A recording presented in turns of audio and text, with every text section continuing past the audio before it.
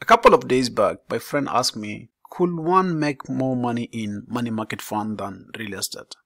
And the answer is absolute yes. And before we go into this spreadsheet to do some calculations, I want to explain what is ROI. ROI is return on investment, which is the measure of how much money or profit is made in an investment as a percentage of the total cost of that investment. So you have to compute return on investment to see what you gain as a result of investing that money. In this example, I'm going to compare between real estate and money market fund. These two type of investments are completely of different strategies. One is long term and the other one is short term. So I'm going to use this as a result of some of the things that you should be thinking whenever you want to put your money in investment because one can be used to tap into the other. In my spreadsheet, I have picked up three examples.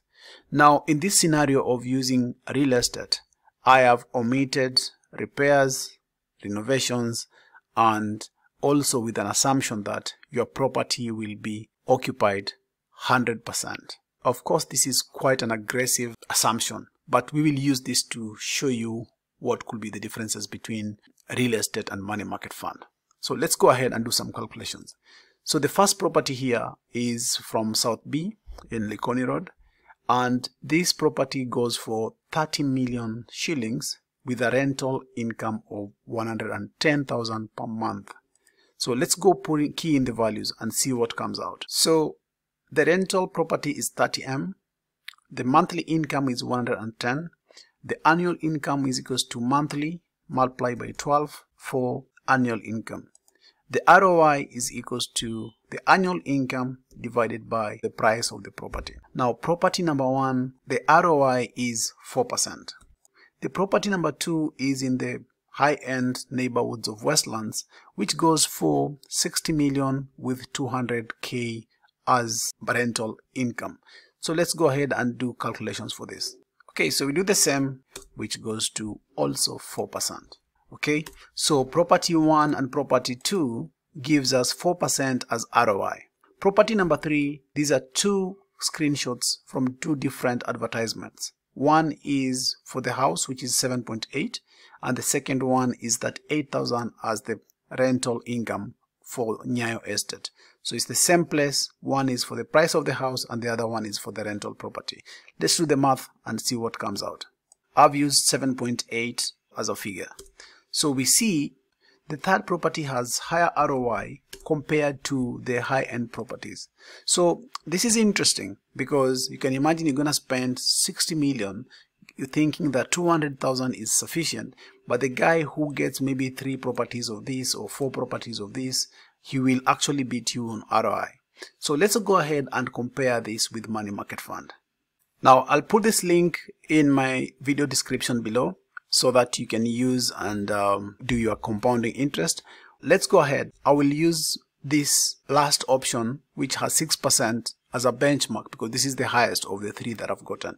And I'm not saying that this all houses will be 6%, but I want to show you the differences between the ROIs of these two investments. So let's go ahead. I'll use 7.8. In my previous video on money market fund, I used 10%. This one I'll be conservative. I'll, I'll put 9. Here I'll use 2. Interest rate in money market fund is calculated on month to month basis. So the input here is correct. And I'll hit calculate. The first thing you observe is that my initial investment is 7.8, the money that I put into money market fund manager. The monthly interest is 58,500. So with this, you can see that you're actually making more money in money market compared to the rental income of 38,000. So let's put in the let's put in the figure here. This is over 20,000 more compared to the 38,000. However, I want to clarify one thing here. This amount is inclusive of withholding tax. So let's do the math on withholding tax, which is equal to this amount multiplied by 0.85. In a nutshell, I can put my 7.8 million in money market fund, pay 38,000, money market gives me 49 and the difference I can actually use it to pay for utilities such as electricity, water or service charge. So the difference here is around 11,725. Let's first of all see what happens. The first thing I need to point out is that it will be misleading to assume that the property will not appreciate in value. That is a very misleading statement because maybe the 7.8 in the next maybe two years this property will be 7 maybe 8 million thereabout.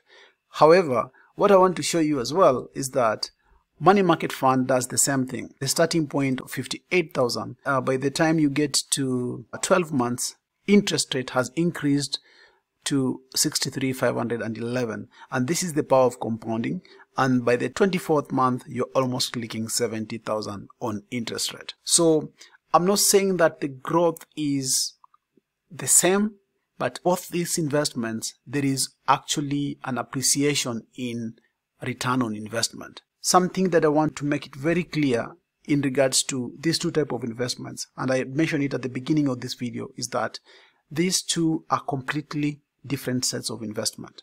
However, the reason why I'm doing this video is because of two things.